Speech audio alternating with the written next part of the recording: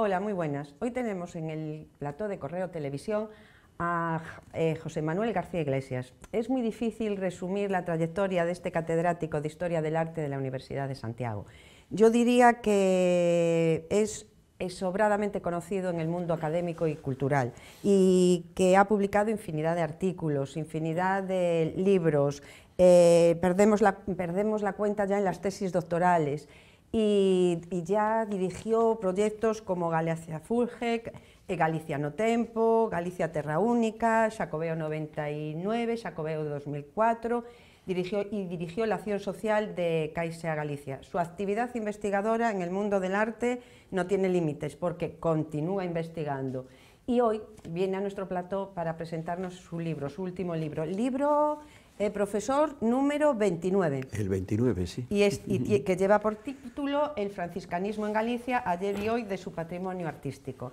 Eh, profesor, eh, en cierta forma, eh, este libro yo lo conozco. Lo conozco porque es el resultado, si no me equivoco, de la publicación de 33 artículos en el Correo Gallego y 33 microespacios en Correo Televisión, a la vez que, claro, también estaban en la página web.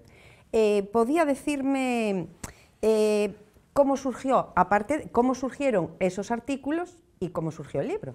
Bueno, pues surgió de dos conversaciones, una con el guardián de, los franciscanos, en aquel momento el padre Paco, que así se le llamaba habitualmente en Santiago, y con otra con José Manuel Rey, el director del Correo Gallego. A ambos les propuse pues, hacer en aquel año 2014, esto inició, se inició en el año 2014, en el que se celebraba el centenario de la avenida a Santiago, de 800 años. 800 años de San Francisco en Santiago, del franciscanismo en definitiva en Galicia, entonces, en base a eso, yo le propuse a José Manuel pues, el hacer una serie de, de artículos que eran dominicales, el, trabajo era bastante complejo en el sentido de que fuimos un equipo en el que también estabas tú, los que llevamos a cabo aquel trabajo. Por una parte, había en el dominical, creo recordar que tres páginas, eh, estaba en la página web un trabajo más extenso de 10, 15 páginas. Además, con, una aportación fotográfica muy interesante y muy importante. Con una galería fotográfica muy importante por cada uno de esos, de esos domingos, que fueron, como bien dices, 33, eh, y aparte, eh, televisión de el Correo Gallego y la radio del Correo Gallego siguieron día a día, eh, semana a semana, mejor dicho, pues eh, todo lo que fue ese proyecto. Un proyecto que nació en Santiago, que tuvo una parte de desarrollo en Santiago muy importante, porque hay que decir que de los casi 500, 499 páginas tiene este libro, 126 se dedican a Santiago, y no solamente se dedican a Santiago en lo que es el convento de los franciscanos, eh, lo que es la Orden Tercera, lo que es el mundo de las Clarisas y San Lorenzo de Trasouto, que son los referentes principales del franciscanismo en Santiago, sino que va mucho más allá, intenta...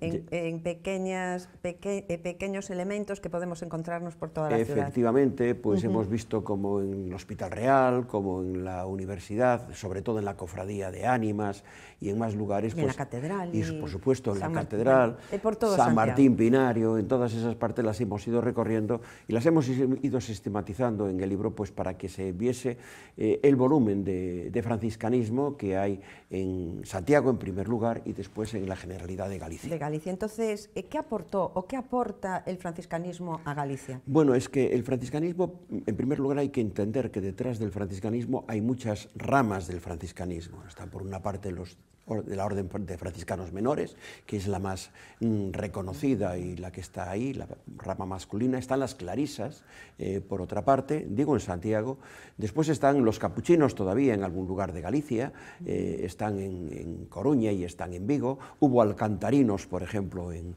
Monforte, eh, hubo pascualinos, por ejemplo, en la zona de las Rías Bajas, en Cambados y demás, hay concepcionistas en la zona de Mondoñedo, es decir, las ramas son varias y todas tienen como tronco común lo que es la figura de San Francisco de Asís. Y nos aporta una gran riqueza artística e histórica. Evidentemente, es una historia que empieza en la Baja Edad Media, empieza en el siglo XIII, que llega hasta hoy, que ha dejado un patrimonio impresionante a lo largo de Galicia. Hay referentes como puede ser, por ejemplo, Herbón, que todos conocemos y todos lo, entendemos como una de las cunas del mundo misionero eh, de, de, lo que es el franciscanismo. Está Santiago, que es capital de una provincia, de toda una provincia que ocupa prácticamente, llegó a ocupar prácticamente la tercera parte de España. Y, y, y el origen eh, parte de una leyenda, bueno, o de, la, o de puede ser algo de verdad o algo de, Yo entiendo, de eh, eh, mitología, no, pero es, es, una historia también muy bonita. Es una historia que está recogida en Las Florecillas de San Francisco, que es un libro publicado bastante tiempo después, una obra publicada bastante tiempo después de la muerte de San Francisco.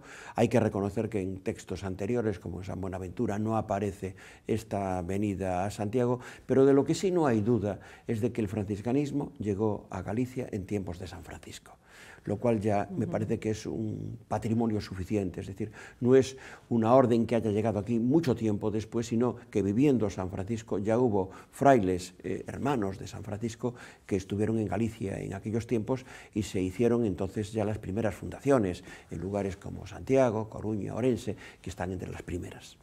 En una entrevista en el Correo Gallego, usted comentaba que tardaríamos mucho más que toda una vida en contemplar la ciudad de Compostela.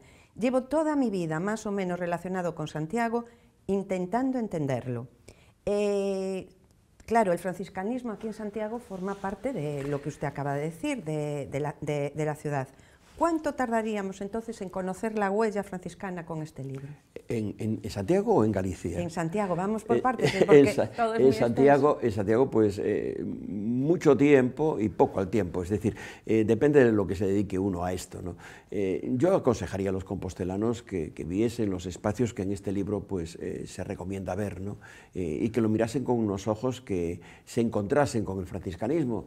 La gente entra, por ejemplo, en la iglesia de San Fructuoso, como se llama hoy en día, y en esa iglesia pues no se ve que hay un retablo de los más importantes que está, por ejemplo, dedicado a, San Francisco. ¿no? Entonces, si uno va, va, buscando el franciscanismo por Santiago, qué duda cabe que lo encuentra. Y este libro, eh, en buena medida, eh, te puede ayudar a eso, a ver cómo fueron, pues, por ejemplo, los franciscanos los que lideraron todo ese movimiento del Vía Crucis que nos llevaba hasta el Pedroso. Hasta el Pedroso, pongo, del Pedroso. pongo por caso, ¿no? Y otro que hubo antes entre la puerta de San Francisco y San Payo de Monte, que es otro lugar emblemático de lo que es el mundo. muy pequeñita. Una capilla muy pequeñita, vinculado a todo el tema de la llegada a San Francisco aquí, en fin, muy interesante desde el punto de vista franciscano. ¿A qué público va dirigido su libro? Porque estamos hablando de que podemos guiarnos con él para saber lo que hay, lo que deja de haber en, Santiago y en Galicia, pero para estudiosos del arte, para gente que le gusta el arte, para la historia.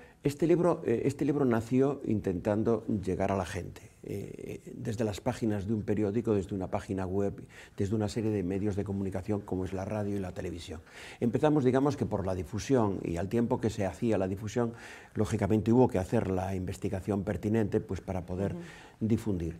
Después viene otro, otra etapa más, que fue ese, material trabajado en el año 2014, en los dos años siguientes fue cuando se le dio la, última forma, por decirlo mm, así, donde se le metieron, pues las, se le introdujeron las, eh, citas necesarias y se reforzó, incluso se encontraron algunas cosas que yo en la previa pues no había sabido de ellas, eh, porque hay que tener en cuenta que, pues por ejemplo, los franciscanos llegaron hasta las propias Islas Cíes, eh, es asombroso.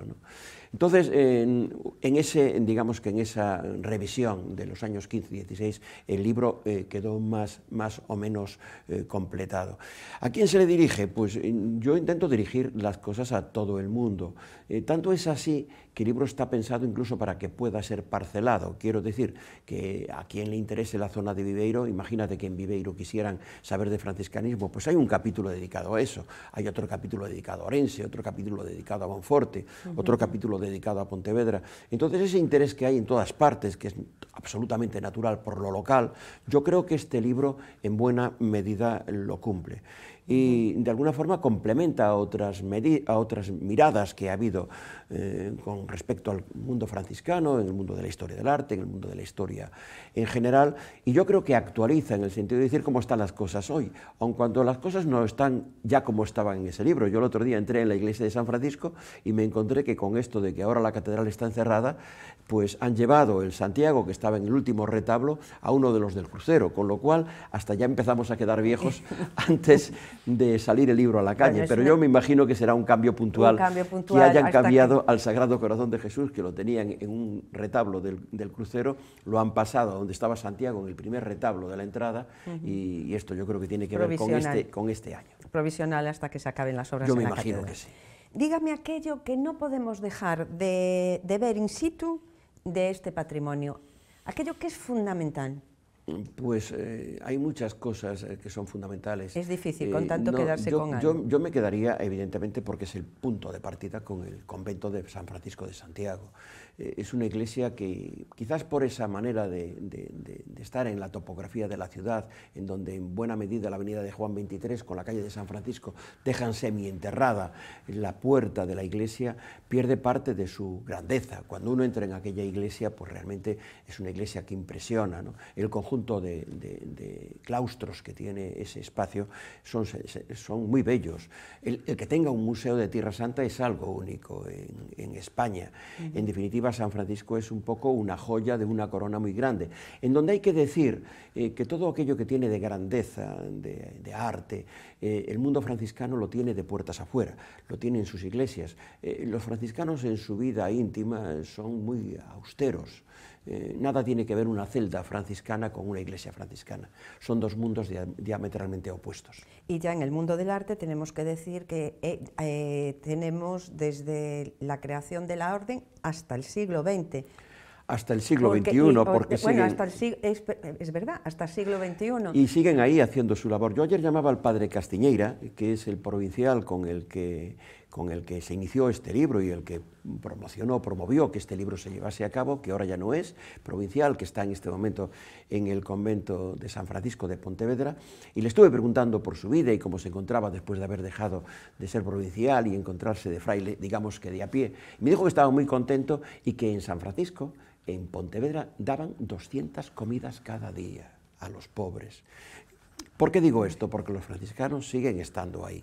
Eh, siguen estando ahí haciendo su labor social y si no que lo pregunten en Santiago, si no que lo pregunten en Betanzos, en lugares, en otros lugares en los que se dedican a la enseñanza, como en La Coruña, como en Lugo. En definitiva, eh, es una orden muy dadivosa con los demás eh, y eso creo que hay que tenerlo en cuenta también y siguen aportando al, patrimonio artístico, siguen aportando joyas. Es, a mí lo que me llama mucho la atención es, por ejemplo, el San Francisco que tenemos en, la entrada del convento, el, ah, este San Francisco. Este es el de Asorey, es una, una imagen maravillosa, un eh, es un monumento realmente maravilloso ahí a, la entrada. Arte moderno. Eh, de, los años 20, de los años 20, del, siglo, del siglo pasado, eh, pero, pero también si nos retrotraemos al siglo XVIII, el San Francisco que preside el retablo mayor de, de los franciscanos de Santiago es una obra de José Ferreiro impresionante. El San Francisco que hay a la, a la puerta misma, en la portada, de San Francisco es una obra eh, ciertamente maravillosa. Estos murales, estos vitrales, quiero decir, que están ahí viéndose de zurdo, eh, son también una maravilla. Ahí está García Zurdo, el vitralista eh, que llevó a cabo esta, esta obra en donde se reúnen dos historias, la historia de Santiago y la historia de San Francisco. Eran, en fin, se han colocado en donde estaba antes la puerta de la sala capitular y hoy están pues en el auditorio de Carlos V, que es por donde, por donde vamos a, presentar el día 18 a las 20 horas, pues precisamente este libro, este el Auditorio Carlos V del Hotel Monumento San Francisco. Le voy a hacer una proposición, no sé si a lo mejor será una locura mía, pero eh, como mm, en cierta manera lo que había dicho usted, participé un poco en, eh, modestamente en, en, los artículos de, en los artículos del Correo Gallego. Y tuve el privilegio de visitar todos, todos los lugares eh, donde, había, donde tenemos algo de la huella franciscana aquí en Santiago. Y pienso que no estaría mal hacer un roteiro, una guía un guía que nos lleve por toda la huella franciscana de Santiago, porque a la vez de ver el patrimonio, ya no solo franciscano, también contemplamos la ciudad, porque, corríjame si me equivoco, pero yo creo que San Francisco está en todo Santiago.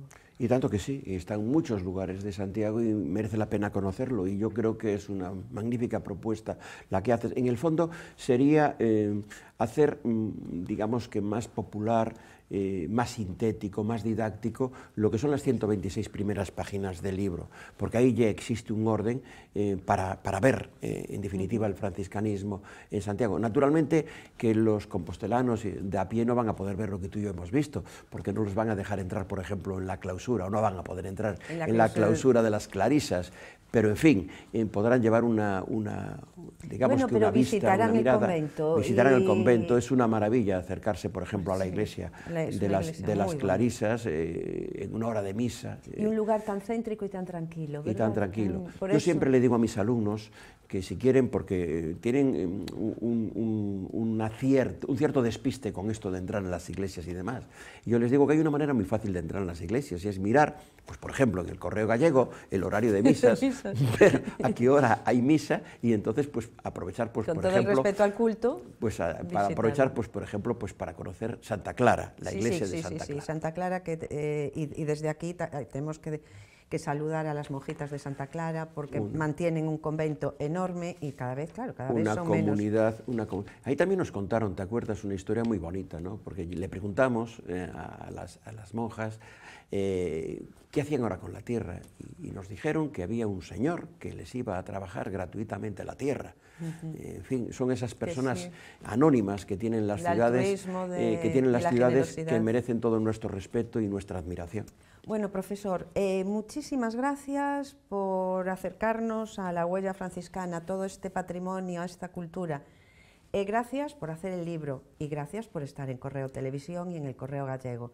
Es usted uno más de nosotros, y pero sí. sobre todo me, estoy encantada de que nos presente esta obra tan bonita y tan fenomenal que, se, que será el día 18 a las 8 de la tarde en San Francisco, así que vengan a la presentación de este libro y a la vez en un marco incomparable. Y tanto que sí. Muchas gracias, profesor, y siga publicando e investigando. Muchísimas gracias.